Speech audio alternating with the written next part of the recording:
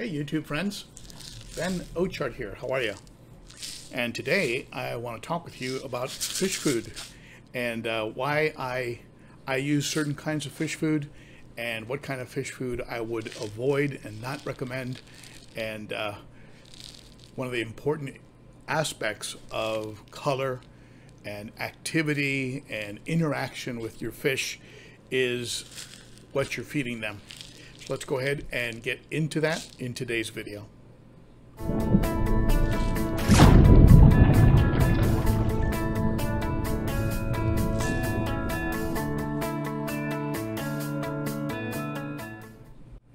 If you're new to the channel, be sure to uh, hit that hit that bell and that sub.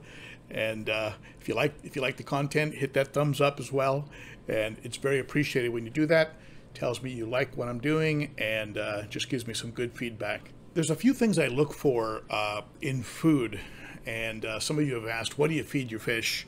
And uh, I feed my fish a variety uh, of, uh, of, of, food and for a variety of reasons. But um, one of the things I use, of course, and I have been using for a long time, is, is these products from, from Northfin. These are Northfin products, and in this case I have just your cichlid formula in a three millimeter pellet. Uh, this would be for like a, a mid-size to uh, below mid-size fish, and then I have some, uh, and then for a smaller fish, like maybe the ones in the in the in my uh, 60 gallon, I might give them a two millimeter pellet. And uh, what I what I look for is, especially with cichlids, is I want food that's going to sink, and uh, uh, not, it doesn't have to sink immediately, but certainly sink because that way fish at all levels can get a shot at it. Like in my 100 uh, gallon, the uh, the white lips will seldom come to the top of the tank. He prefers to eat, uh, you know, near the bottom. So if uh, if the fish is if the food is staying near the top, it's going to get all wiped out. And also, if you have anything like a Synodontis, let's say, or any kind of a bottom feeder, they're not going to have a chance in a, in a cichlid tank uh, unless you have food that can sink. Uh, these pellets usually will sink very quickly, especially if you drop them uh, hard into the into the tank. They'll, they'll, go straight down, and every fish at every level will get a chance. I also feed at both sides of the tank. I have two openings, and I feed at both sides very very quickly. That way, the dominant fish can get a hold of the food uh, they always eat first. They always keep the smaller fish away. But the smaller fish can go to the other side, and and then when everyone goes over to that side, I already have I already have another pinch of food going in the first in the first place. So um, what I look for in foods is I look for ingredients that are very very nutritious and are something the fish might encounter in nature and and I want those ingredients to be at the top of the list. So um, if you look at something like like uh, Northfin, you're, you're going to see, um, and again, remember, the percentage of the ingredient is going to be uh, reflected in how high that ingredient is in, in, in the ingredient list. So so the first item would be the item that is the greatest percentage. Uh, let's say you're buying cereal for one of your kids. Don't buy cereal with sugar as the first ingredient. unless you love your dentist. So um, let's see here. Ingredients. Whole Antarctic krill. High omega 3 DHA. Herring meal. Whole sardine meal.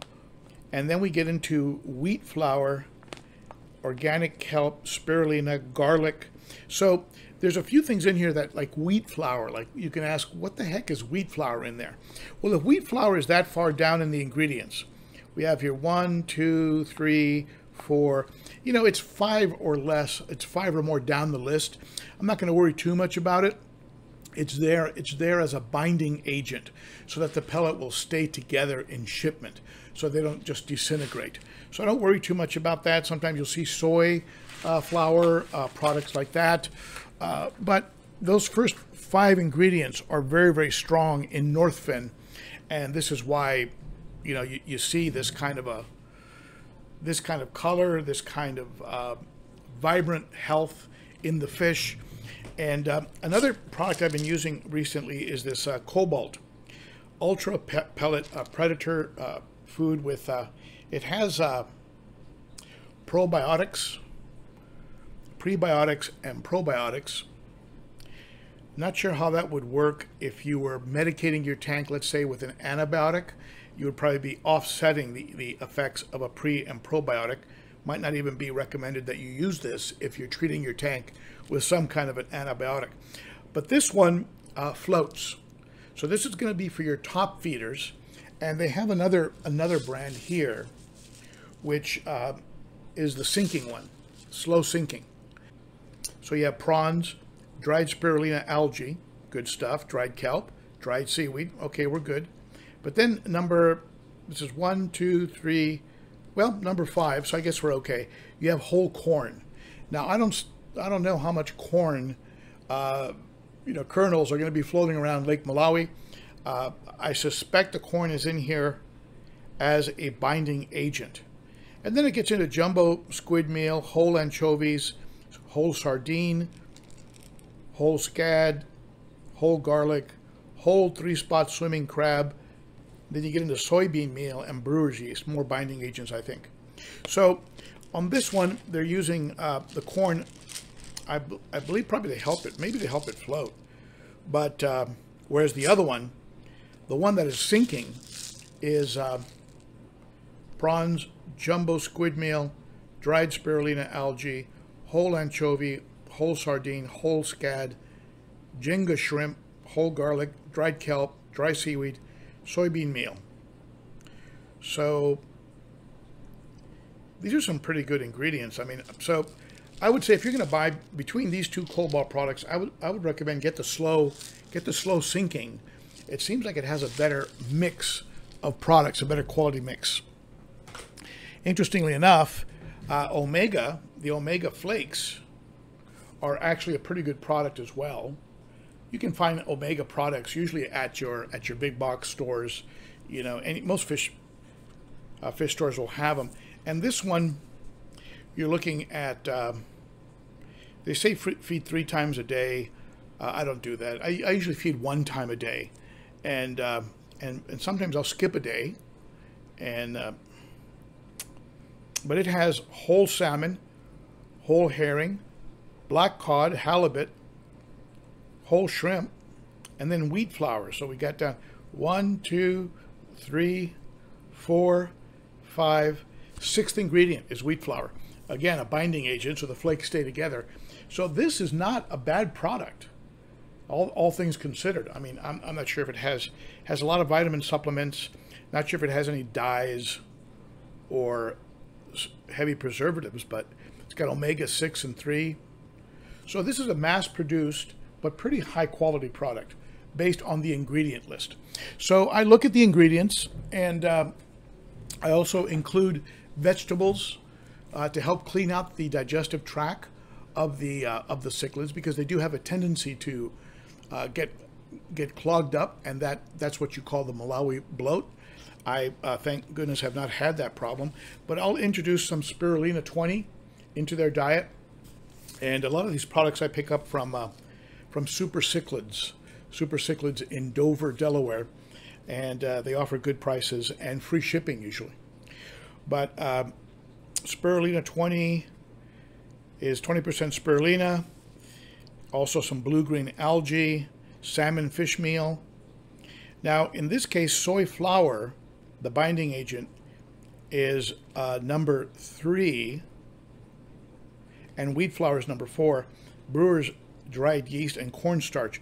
So you are getting into binding agents and fillers more than I would like to see, but they do claim that that the percentage of of the good stuff is very very high, and that may be offsetting the fact that some of those products that I don't like so much are appearing a little bit higher in the ingredient list. At any rate, my fish love this stuff. It does introduce some greens into their into their uh, into their system. I also use a mysis, uh, actually ener energetics. I use the energetics product products with good results. I've also used the um, the Sera from Germany, Sera pellets, cichlid pellets, and I've noticed good results on that. The things I look for are ingredients. I also look at the um, the voracity, the the the uh, appetite the fish demonstrate when I when I drop the food in. Do they go after it? Do they uh, hold it and and continue eating, or do they spit it out? And um, and I also use omega one uh, cichlid cubes. They contain garlic and a lot of good ingredients, and the fish love that. And I've, I've had it work for me with with finicky fish, and I also use uh, frozen krill. The beauty of something like a frozen krill is that you know that all you're getting is krill. There's nothing else in there, just frozen krill and maybe a little bit of water. So, um, so my advice is be be conscious of the ingredients and uh, watch your fish how they react to it. Uh, certainly keep a log, and let me tell you what I mean by that. If you're um, introducing a new type of fish food, make a note somewhere. In my case, I keep a, a running log on my phone in the notes section of my telephone and um, of my cell phone, and and that log I'll, I'll put in there. Uh, you know, July, you know, July twelfth, two thousand, uh, you know, two thousand twenty, started feeding Sera, and. Uh, you know, I notice all of a sudden that the fish are looking amazing. I can go back in my log and go, oh, look at that. The fish are looking more vibrant than ever. They're very active. They're healthy. Um, you know, they, they, their color is just blowing up. Uh, what changed? What changed? Did I did I start? Did I change my water change schedule? Uh, I, oh look, I started feeding him Sera. So um, keep a log. That'll help you to determine uh, to determine whether or not the food is working or not. Okay, so uh, those are my tips, and the three foods I'm, I'm using probably the most right now our frozen krill uh, as a once a week treat, the, uh, the uh, probiotic uh, food from Cobalt, and also the uh, Northfin, the Northfin products, with some Sera mixed in there and a little bit of energetics mixed in. And that is my food combination. I do mix things up. I put them all into a big jar. I have an old jar, New Life Spectrum, which I stopped using because it was clouding up the water. I've heard that they've cleared that up. Uh, no pun intended, but I've heard that they've done that, uh, that they've done something to the formula. But this is an old jar of uh, of that, and in it I have a combination. It's running low right now, but there's there's Sera and there's like two millimeter uh, Northfin in there, and some maybe even some uh, the uh, energetics, and so so I, I, give them a, a combination. The reason I do that is I don't think any one food company uh, has has it nailed entirely. They're all doing the best they can. They have their own laboratory, their own um, access to ingredients, and uh, you know negotiating their deals with wherever they get their ingredients from. So um, I think some some companies. Uh, some some companies will do uh, you know they'll do the best they can, but they're not they don't necessarily have it all covered. So I'll use a combination a combination of foods so that uh, my fish get some variety. You know, in nature, they're they're pecking a little bit, they're grazing over here, then they, you know, they're swimming a few hundred yards and they're grazing over there, and they're, uh, you know, picking off a few fry here and there, and you know, they have, they have a whole mix of stuff. So, you know, we can, I think we should provide them with a little bit of uh, a variety as well. So, um, those are my tips on feeding. I hope you find them helpful. If you have any advice or tips on feeding, uh, note them below. I'd like to hear them. We're always learning from each other on this channel. And um, I hope to see you on Saturday at the Cichlids and Coffee live stream. And um, if you're looking for a, a, a nice coffee mug, uh, stop by the uh, the Teespring store. You can help the channel by uh, by picking up one of my uh, limited edition uh, coffee mugs. If you need something from Amazon, use my Amazon store link because that'll give this, the uh, the channel some credit as well. I appreciate you stopping by and um, take a quick look here at the fish. As you can see, that big uh, movement of fish from the 100 brought over here to the 150 is working out okay. Everybody seems to be getting along. So fingers crossed, as any cichlid keeper knows, keep your fingers crossed because uh, you never know what's going what's going to happen. All right, my friends. I think that's it for me. Thank you so much. I appreciate it.